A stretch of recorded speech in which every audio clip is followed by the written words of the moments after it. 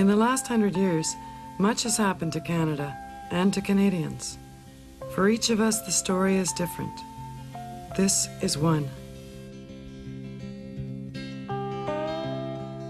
Johnny Johns was born somewhere in the Yukon bush during the Klondike Gold Rush at the end of the last century. He lived in two societies the Tlingit Indian to which he belonged, and the white, which often surrounded him. He learned to balance the two. He grew up to make his mark on the Yukon, and the Yukon a mark in the world. In 1910, Johnny and two younger sisters went to the Chutlak Mission School near Carcross in the Yukon. Yeah, I went to mission school, 24 months in, in four years. And I learned uh, about Santa Claus and Christmas and all that. And he decided he'd make Christmas for his family for the first time. As usual that fall, the Johns family was living, hunting, and trapping in the bush. Their home was a small canvas tent under Grey Mountain. The missionaries taught that the joy of Christmas came from giving presents to the people that you love. So Johnny needed to figure out how to make money to buy gifts. He was too small to shoot a moose and haul it out of the bush by himself. So he hunted blue grouse. All I could uh, sell would be grouse, blue grouse, you know. Angela Sidney still remembers that first Christmas. My brother Johnny hunts blue grouse on that Grey Mountain. The big grouse, you know. You ever seen that? Blue grouse. Christmas had to be a surprise, so Johnny shot the grouse, hid them in the woods, and waited. He waited for his father to send him to town for groceries. Then he picked up his grouse, loaded the sled, and drove the dog team to Carcross.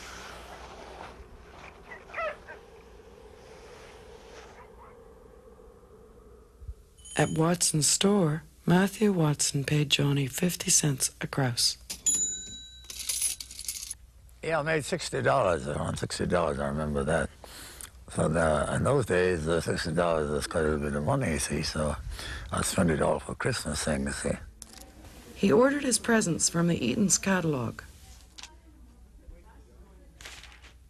That wasn't very easy to do as a 12-year-old, was it? Uh, no, no, I really had to figure it out, you know, send out for the stuff to, to Eaton catalog, you know, not Winnipeg, those days.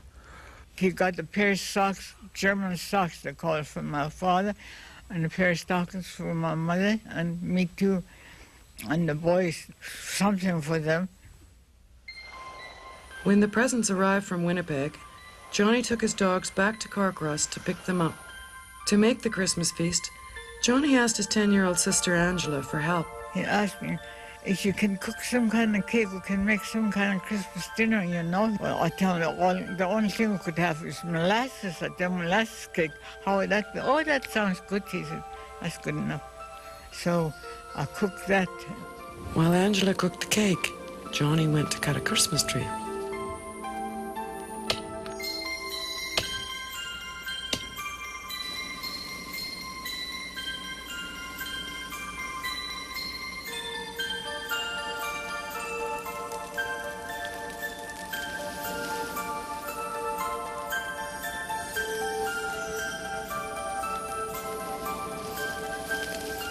Keep the surprise, Johnny hung a sheet down the middle of the tent and sent his sister and brothers to bed behind it while he finished getting ready. But there were holes in the sheet, so Angela and her brothers peeked. And every time we do something funny, we laugh, giggle. Me and my two brothers. When the children woke up on Christmas Day, Johnny asked them, Did you see what Santa Claus brought you? Yeah, we saw him bringing in the tree and everything.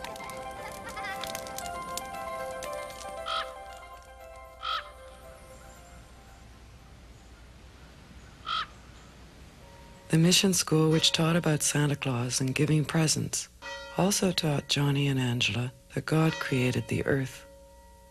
That wasn't what their parents believed. Oh, the Indian people, they think Raven is the one that made the world. I know my brother and my father used to argue about. My My, my father used to say, Raven made the world.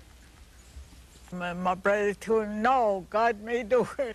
And he used to argue and argue about it all the time.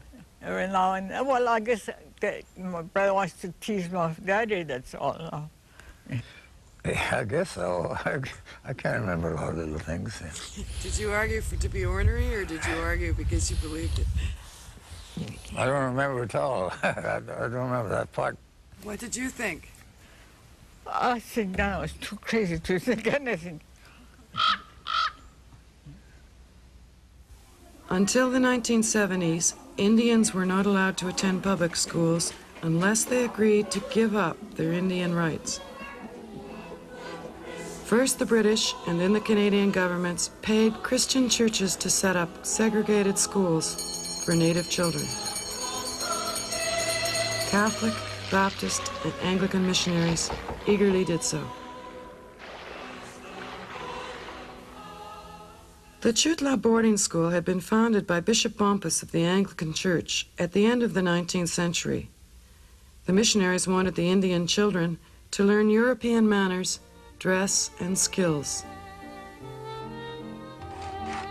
So Johnny and the boys were taught carpentry and farming, and Angela and the girls learned cooking, gardening, and sewing. The missionaries thought they were rescuing the children from their primitive family environments.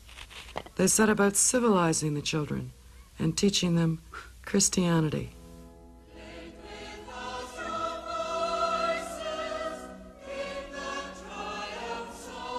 They introduced the children to prayer, but Indian people already knew about prayer. Mother, mother learned us how to pray long before white man came. They had their ways, you know.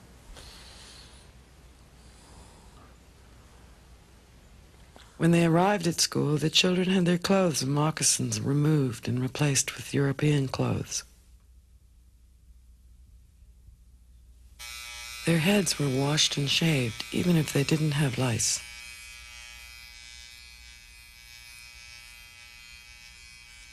Thin, weak soup and white bread replaced their normal diet of fresh meat, berries, and fish.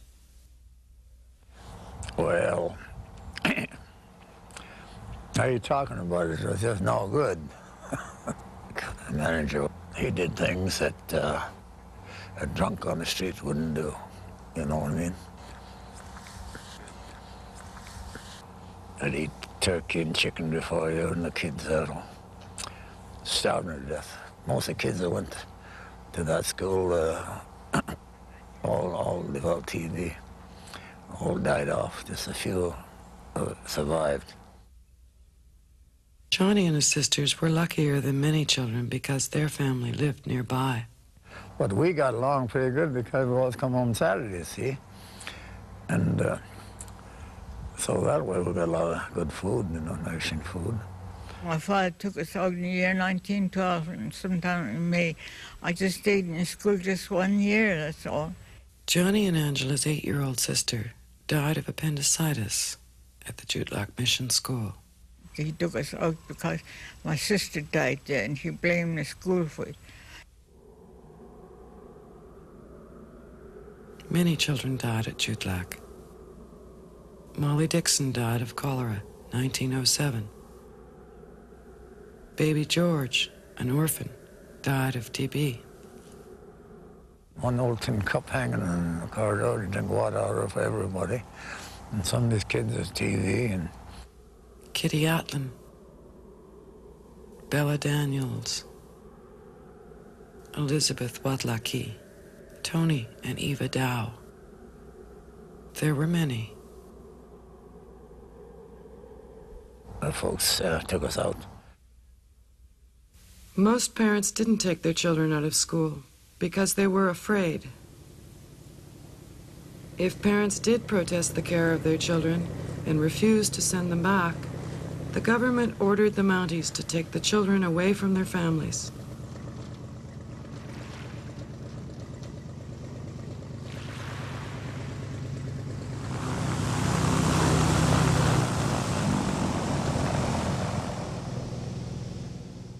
When they arrived at the mission schools, most of the children spoke only their Indian languages.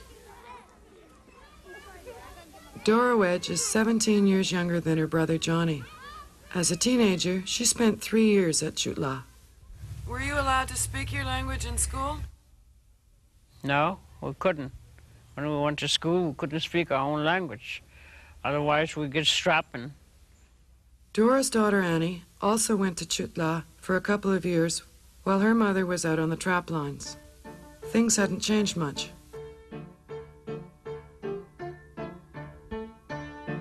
I wasn't allowed to speak. So now, as a result, I can understand, but I can't uh, speak it. We get the strap, you know, so therefore you had to really, really make sure that you didn't. But nowadays, our language is gone. I used to love listening to my grandmother telling stories. Later on, there was words there that I couldn't really understand. These uh, get around here, they, they don't understand it. They can speak French better than they can speak their own Tlingit language. Johnny Johns' children also had to go to Chutlak. I had my daughter, her health was going, so the doctor said oh, undernourished. Had many fights with the principal over that time, over my daughter. And the natives couldn't go to public school then. Johnny's legal options were limited. The Canadian government decided that if an Indian wanted to go to university or open a business, join the army, or send his children to public school. He could, but only if he gave up his native rights. That was their deal. So Johnny took his daughter out of Chooutla and lost his Indian rights. But I had to do that to get my kids to public school, see? They told me that, but I lost my Indian rights. But finally now, a year or so now, we got our, our, our rights back. Indians hoped that their children would have a better chance if they had the white man's education but the price was high.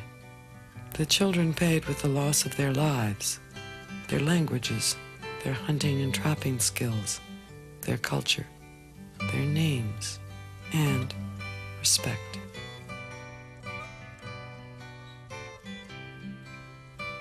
In the 1960s and 70s, the Canadian government changed part of its policy of forced assimilation of Native people and closed the mission schools. Chooutla School stands trash today, a symbol of the anger and bitterness that the Indian people never openly expressed before.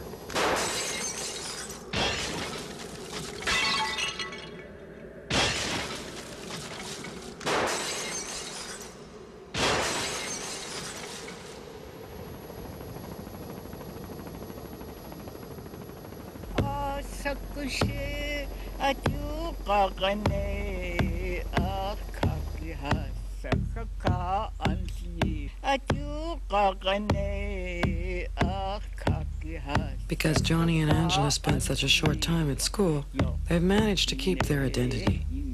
Angela Sidney never lost her Indian languages, and in 1986 won the Order of Canada for her contributions in saving Indian languages and culture. Who gave you the award? The government, what do you call it? That woman? What's her name now? She, she Jean Sauvé? Huh? Jean Sauvé? Sauvé? I don't know. I guess so. It's a woman. Uh, when, when I went down there to, to, to get my pin, my, my shoelace untied, I didn't know it. So she bent down and tied my shoelace up. After Johnny Johns' 24 months of school, he went home to continue doing what his family had always done hunting, trapping, and fishing. About the same time, Johnny's father had an accident, breaking his hip in a snowslide. There were no doctors to fix it. I trapping since I was uh, pretty young, knee high, uh, they say. I, I did it on my own when I was 13 years on because my father was old. By the time he was 13, Johnny had the responsibility of caring for his family. and I loved them, so I, I, I tried to please them. The best way I could because it would hurt their feelings if I didn't, you see. I used to travel alone a lot. I'd go out hunting beaver, I'd be gone two weeks to sometime two months in the spring. Mother never worried, Dad never worried. I knew I knew to care, take care myself. Johnny's hunting provided for the family, and he was so successful at it that when he was 19, he became a professional guide and outfitter.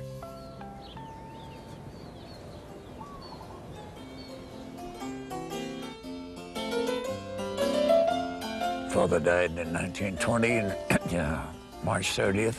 The Spanish influenza, you, you, probably read about that. It started in Europe and it took a year to get over to New York, you know. Travel was slow after the First World War. And they killed more people than the war did. Two days before he died, he was there helping everybody. Across the river there, sawing wood for Matthew Watson, packing water for Matthew Watson. He was about the last one got, that got it, you know. Two days later, he just died. Just clogged up your lungs, that's what happened. He died in my arms. I was in my arms, just died. My dad died when I was about three, three and a half years old. And from there on, well, I look at, I look at my brother as a, he was a brother and a father to me. Well, that was in the 1920s. See, I was already in business three years, see. So I had a lot of money. I, and I had my father buried proper and everything. Johnny's outfitting and guiding business grew until he was hiring relatives from as far away as Dawson. And then as a family deal, finally it spread out, so I was, boys from Dawson worked for me. And, and I had the biggest outfit in the Yukon then, and the most successful.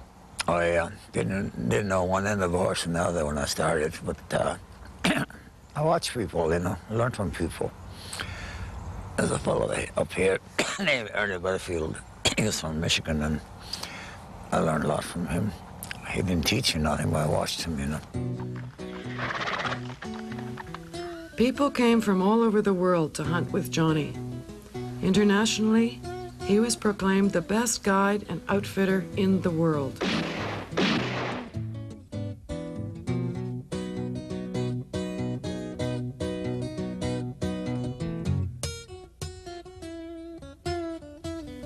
There were some infamous as well as famous hunters among Johnny's clients.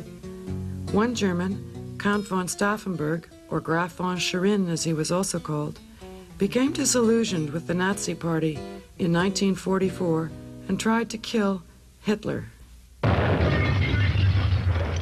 This German count was one or two that tried to bomb Hitler just before the war ended the oak table. It's what saved him. I planted a bomb in a briefcase, you know, under, under the oak table. The oak table knocked him out all right, but they shot him off. Johnny has always been able to move in one world while never losing the values of the other. At home, he was special too. Mark Wedge. Well, to me, I always looked at Uncle as a very successful person. He'd come off the hunts and There'd be lots of horses, and so you knew when you know, the hunts were over, and it had a big influence on the whole town. He guided and outfitted hunters that came to the Yukon from southern Canada, Europe, and America to collect trophies, heads, antlers, and skins of wild animals. Since it's against native religion and traditions to waste, Johnny made sure the meat went back to the villages. He used to go out and hunt and bring in meat and stuff, and then he give it around the, the, the village, like, you know. Everybody gets something. Long time ago, people used to help each other. Hunting, trapping, and fishing have been a business as well as a way of life for the whole Johns family. I thought we women weren't supposed to do those things. well, you know, I rather I rather do all that work than than than the housework. I rather be outdoors, going out and and hunting, fishing. To Johnny and his sisters, it's important to pass on their knowledge to the younger people. Mark, he quit his shop and he went out and he stayed with me. And this is where he learned. We learn in school the three R's. It's called reading, writing, and arithmetic. And the traditional form of education are the three L's. You look, you listen, and you learn. You need to balance the two. Well, I remember mom teaching us how to hunt sheep. And she would say, well, you have to learn the habits of the sheep. You know, you have to know what they're going to do. And once you learn what they're going to do, then you know what the wind's going to do, you know what their habits are, then you can you start hunting them because you know what they're going to do. And the thing that really struck me about it is that she was teaching me how to think, like, you know, the process of thinking. And we don't learn that in school, how to think necessarily today. Like, you don't, can't take a course saying this is thinking 101 or thinking 203.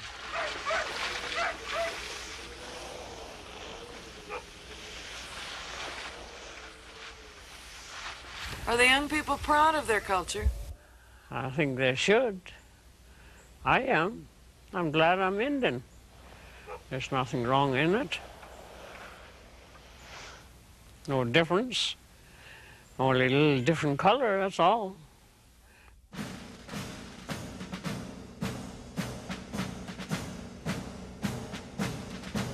In 1942, the American Army invaded the Yukon. 12,000 troops. Overnight, they doubled the Yukon population. They came to build the Alaskan Highway.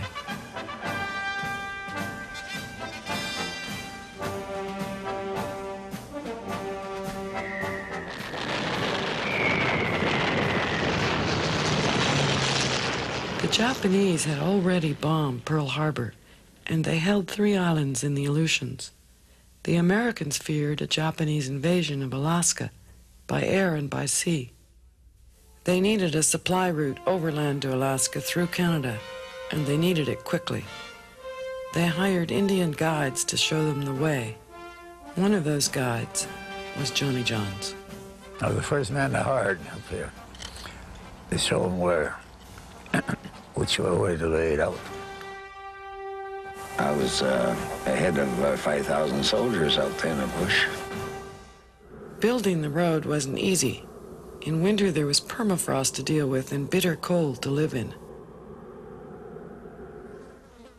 In summer, black flies, mosquitoes, and mud everywhere made life miserable for the soldiers. Oh, they liked the country. Yeah, the, the, the Americans did. The, the colored people didn't like it. There was a lot of colored come up too, you know, soldiers. They were scared of these wild woods and they were fur, fur caps in the summertime, July when it's hot, cold all the time. Johnny Johns was an expert guide for the U.S. engineers and Army. He'd walked over most of the Yukon hunting and trapping. He knew where the swamps and the bogs were, where the land was solid. When you see a jack pine, you know it's on solid ground. They can't grow otherwise, he'd say. So you cut your road from jack to jack if you can. My boss was a, a uh, first lieutenant, and uh, he had all these instruments here. Uh, and, uh, you know, rods and this and that and all that. I said, don't need that, leave it. to go to awkward to pack. I said, I don't need it at all. You got to cut a line first to use it. You're going to waste a lot of time. Johnny's horses were hired too. I had 60 head of horses working on the Alaska Highway. There was money to make and a road to build, but the Americans had to be taught Canadian ways. Of course, uh, you had to train these uh, Americans, uh, soldiers, you know. They see a cabin there, not locked, and furs in there, and they stole the furs, you know.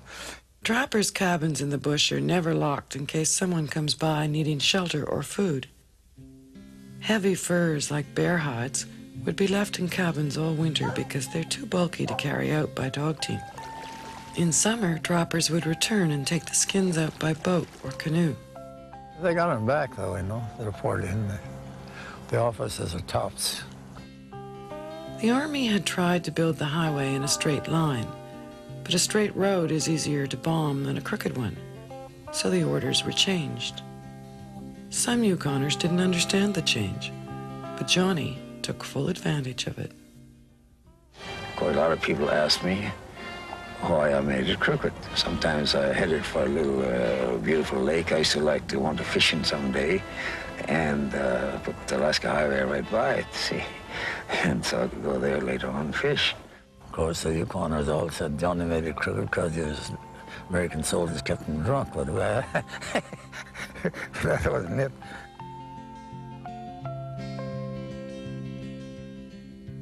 Johnny Johns died on February 19th, 1988, aged 89.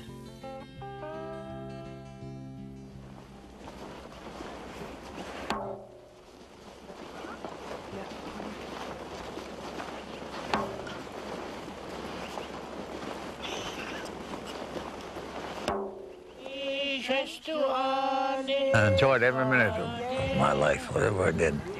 All my work, it didn't seem like work to me.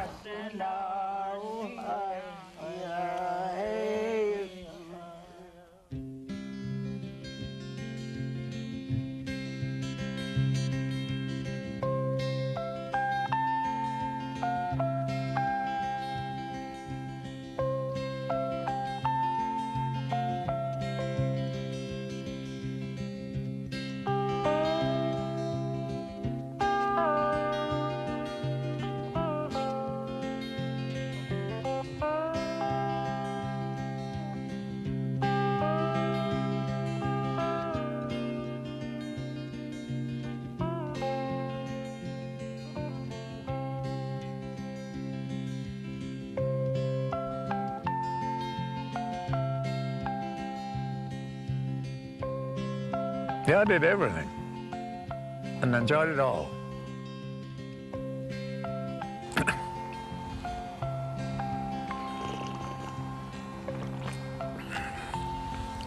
so that's the way it went, you know.